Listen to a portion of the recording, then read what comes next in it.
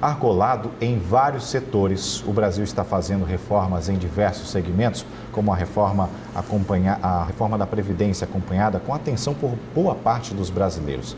Mas ela não é a única. Existe também a reforma tributária, que está sendo vista com atenção e cuidado pelos estados que defendem o governo federal seja mais transparente na divulgação de dados relativos à transparência constitucional aos estados e ao, também ao Distrito Federal, decorrentes da arrecadação de impostos federais. Vamos conversar sobre esse assunto com o Procurador-Geral do Estado do Maranhão, doutor Rodrigo Maia. Boa noite, seja bem-vindo aqui ao Jornal da Guará. Boa noite. Doutor Rodrigo, a gente tem essa preocupação. Reforma da Previdência é uma discussão, a reforma da, tribu, da, da tributária ainda não entrou uh, na grande discussão, mas a gente sabe que existe, tem que haver diálogo.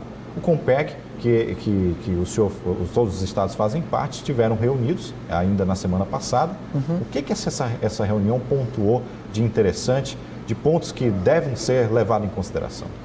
Bem, primeiramente, um tema central e uma preocupação compartilhada por todos os estados é promover um federalismo cooperativo efetivo. Porque hoje nós temos uma grande concentração de poderes da União, é, apesar dos estados serem entes independentes, autônomos, há uma certa relação assimétrica, eu diria até hierárquica com o governo federal. E o Colégio de Procuradores Gerais, em nome dos estados, busca realmente equilibrar essa relação.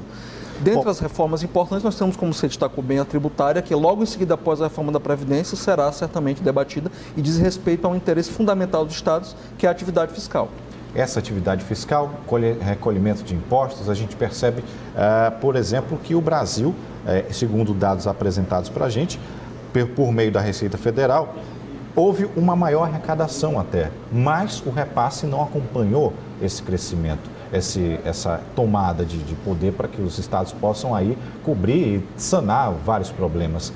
Foi discutido também? Não, certamente hoje uma das principais ações que os estados têm contra o governo federal o Maranhão, as outras, praticamente todas as outras 26 unidades da federação, é justamente para dar mais transparência, essa transferência do FPE, porque nós não conseguimos compreender como há um aumento na arrecadação no âmbito federal e, consequentemente, e, e, e paralelamente, uma redução das transferências constitucionais obrigatórias. Para você ter ideia, apesar do aumento real da, da arrecadação, no mês passado nós tínhamos uma queda de quase 10% do FPE. Isso não só o Maranhão, mas os mais entes federativos. Então, isso motivou a propostura de uma ação para que houvesse mais transparência nesses dados, porque nós acreditamos que está realmente havendo uma subtração de recursos que seriam é, utilizados para compor a base do Fundo de Participação dos Estados. E nós recentemente tivemos algo muito importante para reforçar nossa pretensão, que foi um acórdão do TCU reconhecendo que de fato não há muita transparência da Receita Federal na aferição desses dados.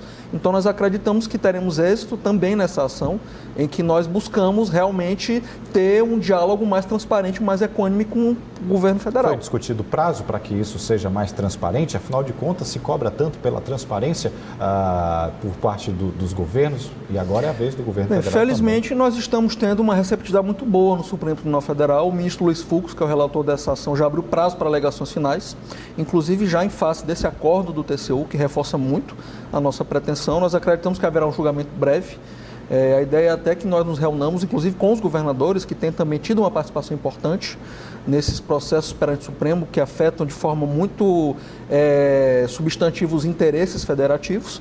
E temos uma convicção que no Supremo Tribunal Federal nós teremos em outras demandas importantes também. Como muito recentemente tivemos uma audiência pública é, desse caso convocada pelo ministro Luiz Fux, onde se discutiu a possibilidade da União promover bloqueios diretamente nas contas dos estados, o que nós reputamos inconstitucional por ferir a autonomia dos entes federativos. Porque não Bom, diante da situação que a gente vive, é bom destacar que o Maranhão é notório, tem um posicionamento diferente político do que é, é dito uh, pelo governo federal. Mas isso interfere? Isso a gente pode eh, entender que isso uh, possa prejudicar o Maranhão no, no sentido de repasse? Não, Ou isso não, é um fato absoluta... que acontece com todos Não, absolutamente. Não há, de fato, qualquer tipo de é, retaliação ou perseguição ao Estado do Maranhão.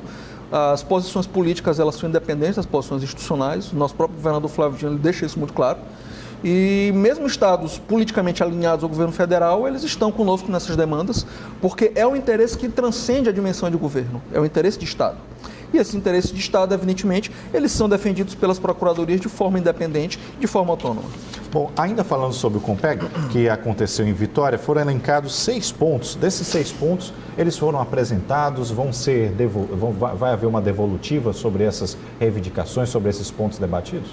Bem, um dos pontos importantes são justamente essas ações, onde nós buscamos realmente mais transparência na composição desses fundos. E um outro tema pelo qual nós vamos debruçar agora com mais ênfase é em relação justamente à reforma tributária porque há algumas propostas já em curso de unificação de tributos que vão acabar por reduzir a autonomia dos estados no exercício da sua atividade fiscal. O que nos preocupa realmente, porque o histórico que nós temos na relação com a União nesse ponto não é um bom histórico. Então, a perda de autonomia na composição, na criação dessas espécies tributárias é algo que realmente tem inspirado uma preocupação, razão pela qual o colegiado, nessa carta de vitória, na reunião do dia 18, vai compor uma comissão para acompanhar mais de perto isso e, e oferecer sugestões para que nós possamos realmente ter um federalismo mais eficiente que tem na tributação uma atividade fundamental. Porque sem o exercício da atividade fiscal, os estados não podem exercer nenhuma das suas atividades. Qual é a sensação que se vê? O senhor participou, portanto, desse Compeg. A sensação dos outros procuradores, a realidade dos outros estados é diferente é, é, é, é passível de, de paciência para que sejam tomadas novas providências aí por parte do governo federal? Como é que fica? Bom, os estados, de modo geral, eles estão muito apreensivos, principalmente porque há pouco diálogo na esfera federal mas nós não estamos interessados em criar conflitos ou arestas. Pelo contrário, os estados querem justamente construir pontes, construir diálogos, porque realmente é através da construção de consenso e diálogos que nós acreditamos que nós vamos conseguir resolver os problemas do país. E as procuradorias elas têm um papel realmente de concertação, de construção de consensos. Doutor Rodrigo Maia, Procurador-Geral do Estado, nosso muito obrigado aqui, obrigado pelos esclarecimentos. Eu que agradeço a participação. Obrigado.